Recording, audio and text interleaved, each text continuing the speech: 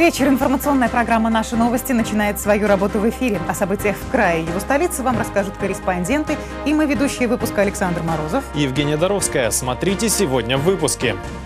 Высотка на шести сотках. Новый вид мошенничества в сфере жилищного строительства набирает обороты. Вся проблема в том, что попытки пробиться куда-то, они... Это вот ты бьешься головой в закрытые двери. Самому старшему 100 лет, самому молодому 30. Участники ралли Пекин-Париж сделали остановку на территории края. Вот жмете на газ на полную, и это лучше всего с педали газа ногу не убирать. Красиво плывет, с чем Андрей Гречин вернулся из Монте-Карло. Жители региона стали на 178 рублей жить лучше. Постановлением администрации края установлена величина прожиточного минимума за первый квартал 2013 года. Согласно документу, стоимость потребительской корзины составила в целом по региону 6435 рублей. Напомним, при расчете прожиточного минимума используются данные об уровне цен на продукты, товары и услуги. Сюда также включены расходы по обязательным платежам и сборам. На основе этих данных определяется размер помощи малоимущим семьям, назначается субсидии на оплату жилья и коммунальных услуг и другое.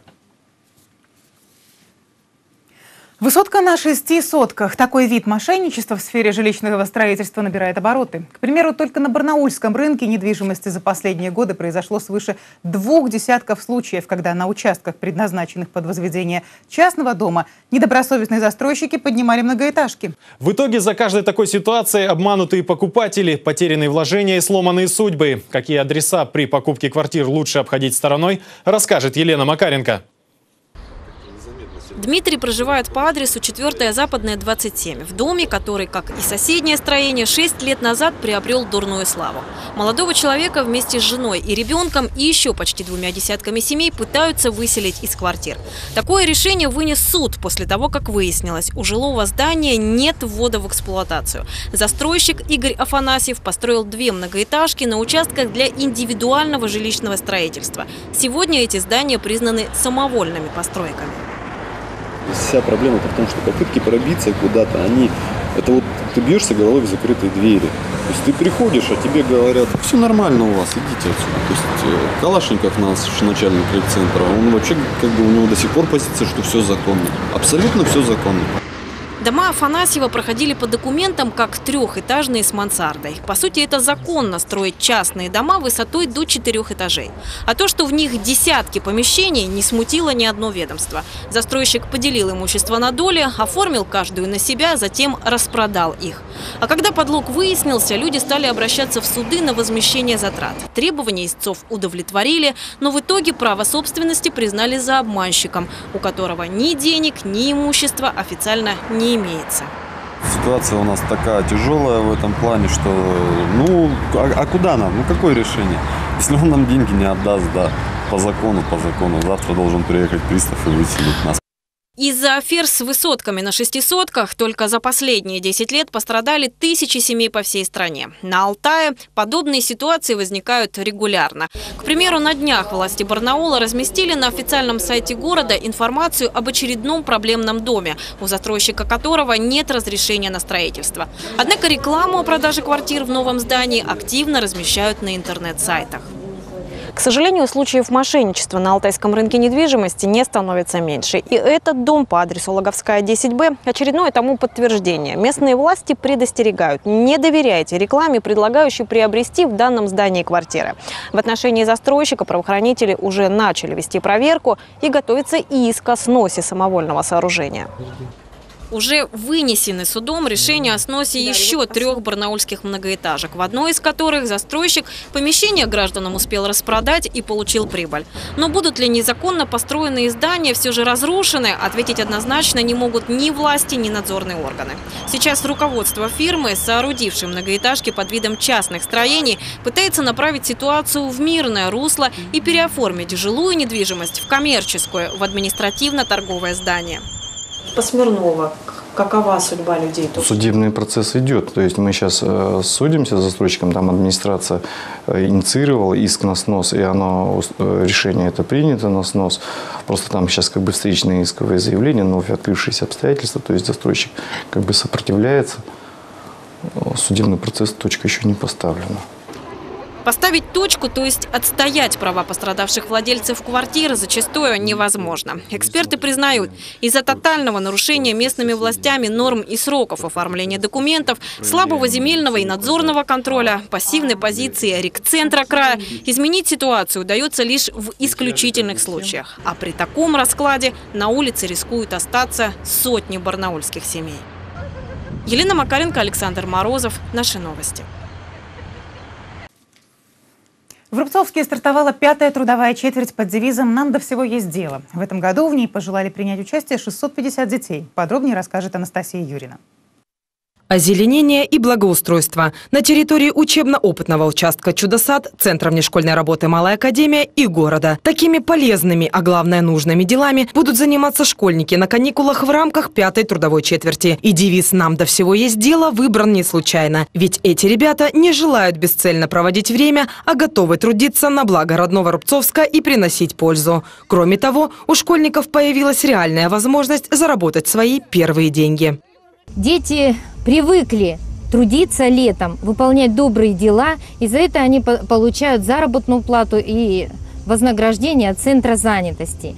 Я думаю, что это большое дело и замечательная акция, которая полезна всем. Ежегодно администрация города совместно с Центром занятости населения и работодателями решают вопросы летнего трудоустройства подростков. В течение каникул 650 школьников в возрасте от 14 до 18 лет будут проходить трудовую практику по высадке и поливу цветов и деревьев, а также благоустройству таких важных объектов, как пришкольные территории.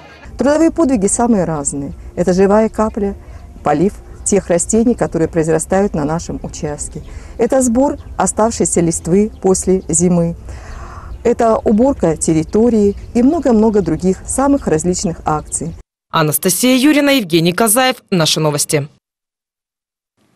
Количество пройденных километров – гордость для этих автомобилей. На их памяти дороги обеих мировых войн, шоссейные, раллийные трассы бездорожья. Но и сейчас они не просто на ходу, а готовы соревноваться. 28 мая стартовала пятая ралли ретроавтомобилей Пекин-Париж. А 8 июня все автоспортсмены расположились на ночлег. Это была первая остановка на территории России в Алтайском крае. Подробнее Евгения Ижутова. Под их подкрылками пыль десятков тысяч пройденных километров. Самому старшему 100 лет, самому молодому чуть больше 30. 96 ретро-автомобилей из 21 страны стартовали из Пекина 28 мая. Впервые в международном автопробеге принимает участие российская команда Алтайской Федерации автомобильного спорта.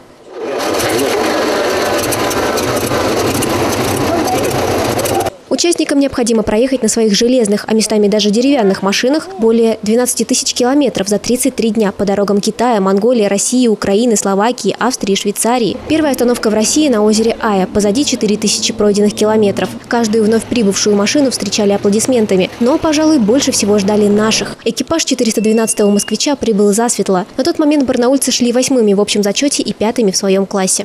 Здесь получается так. Вот вы когда стартовали, вам отмашку дали, что вы стартуете в этот день. Вот жмете на газ на полную. И это лучше всего с педали газа ногу не убирать.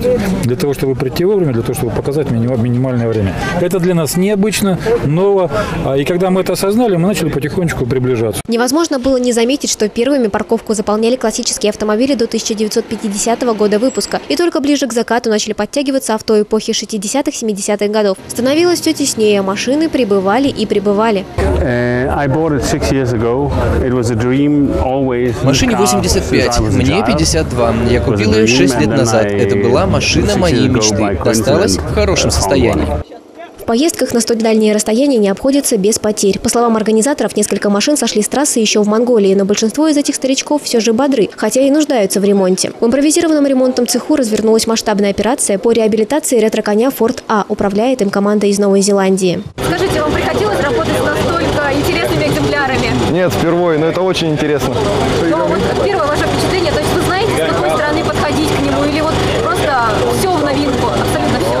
А, в принципе, все в новинку, но 10 минут вокруг походили и, в принципе, поняли. Все моторы одинаковые. У участников была целая ночь на отдых и ремонт, а рано утром с интервалом в 30 секунд машины отправились дальше. Финиш ретро-пробега намечен на 29 июня во Франции.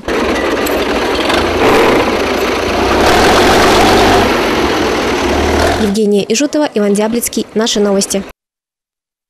А теперь новости для тех, кто умеет считать деньги. Новое предложение от Восточного экспресс-банка позволит вам сэкономить, взяв кредит. Лучшим клиентам лучшие условия. Надежным заемщикам Восточный экспресс-банк делает отличное предложение – получить кредит и сэкономить до 30 тысяч рублей. Банковский кредит – быстрая возможность воплотить в жизнь любые свои планы. Если у вас был или есть кредит в любом банке, и вы привыкли вносить платежи своевременно, вы можете воспользоваться нашим предложением и сэкономить до 30 тысяч рублей на переплате при получении кредита в Восточном экспресс-банке. Кредит от Восточного экспресс-банка – идеальное решение получить деньги на любые цели быстро и легко. Для того, чтобы оформить заявку, требуется только паспорт. Не упустите свой шанс осуществить задуманное и получите деньги всего за 15 минут. Стать клиентом нашего банка просто. Подать заявку можно не выходя из дома по телефону 8 800 100 ровно 7100. Звонок бесплатный. Мы будем рады видеть вас в числе клиентов Восточного экспресс-банка. Получить дополнительную консультацию можно по этому же бесплатному номеру или в ближайшем отделении Восточного экспресс-банка. Таким было начало этой недели глазами корреспондентов информационной программы «Наши новости». На очереди обзор спортивных событий. Не пропустите также прогноз погоды. Ну а зрители краевой столицы еще ждет реплика Михаила Гундарина и специальный репортаж. Там, где начинается Обь, в селе Акутиха Быстроистокского района, когда-то был стекольный завод, один из лучших в России. После его закрытия жизнь маленькой деревни остановилась. И вот в интернете появилась информация, завод может вновь заработать. Татьяна Гладкова и Павел Лауранин отправились в Акутиху искать правду. Ну а мы, Александр Морозов. И Евгения Доровская. Благодарим вас за внимание. До встречи завтра в это же время.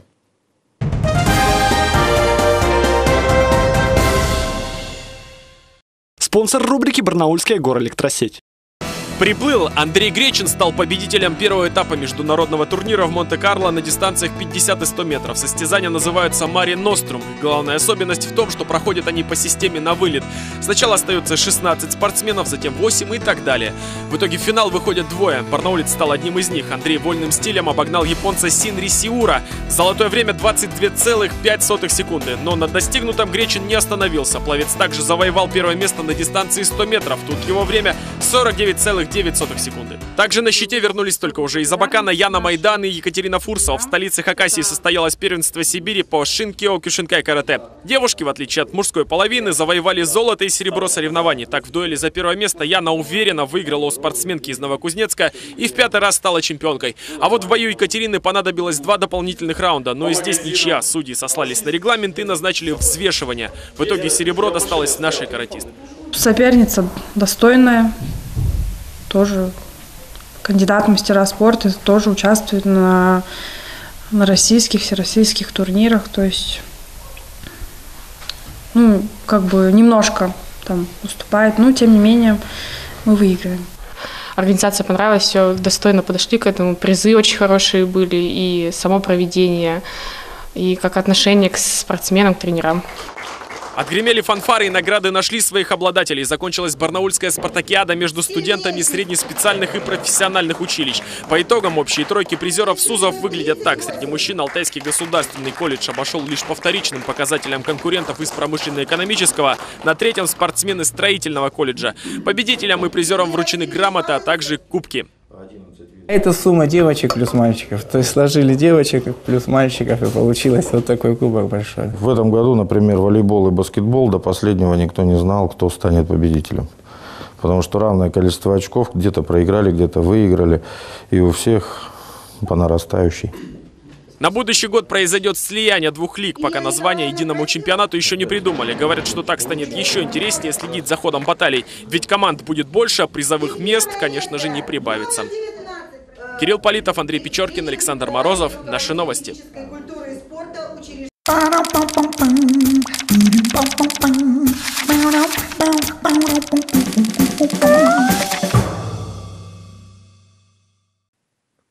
Добрый вечер. За что так ненавидит единый государственный экзамен ЕГЭ? Велика ли в нем сейчас коррупционная составляющая? И что власти намерены с этим делать? Наконец, попал ли наш край в число наиболее подозрительных ЕГЭ регионов? Об этом и поговорим.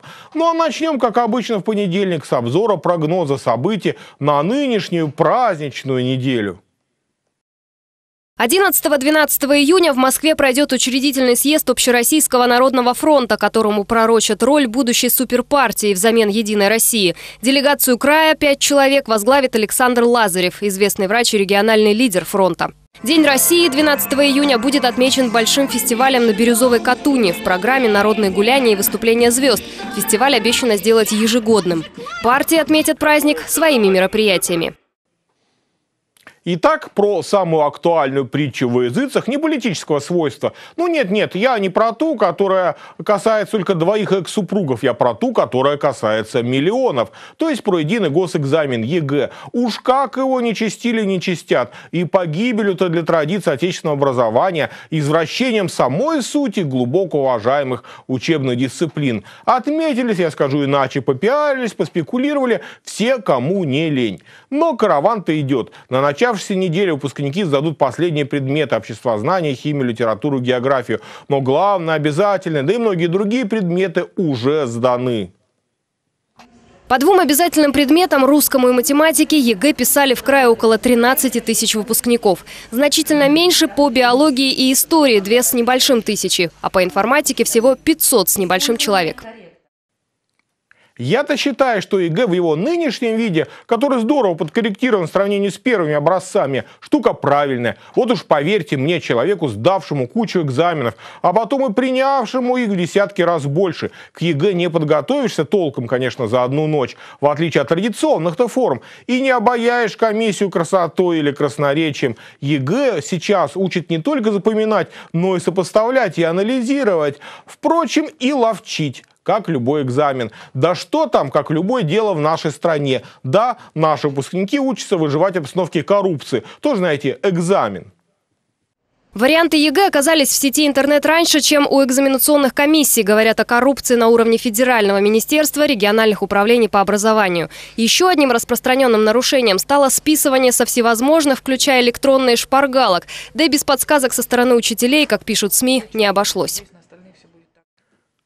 Тут я замечу, что сами варианты ЕГЭ в интернете беда совсем небольшая. Я имею в виду варианты вопросов, которые не один десяток в каждом варианте без ответов. Ответы тебе приходится искать самому, причем нередко буквально за одну ночь. Тем самым ты прекрасно готовишься по всему курсу. Я бы предположил даже намеренную утечку. А что, педагогически это в известном смысле даже оправдано. Ну вот другое дело махинации на уровне самих экзаменационных комиссий и немыслимые баллы, которые оказываются то у детей чиновников, то наших кавказских сограждан. Власти пытаются с этим что-то делать. То это правильно. Вот только успешно ли или как всегда?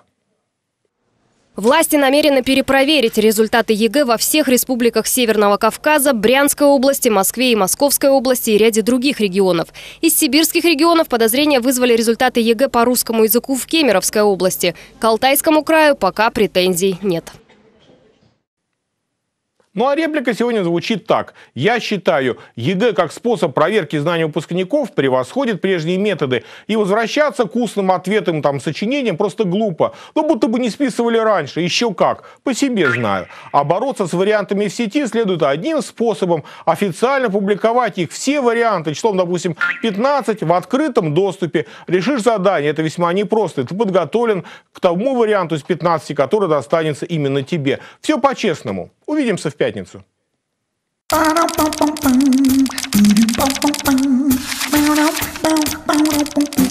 Thank you.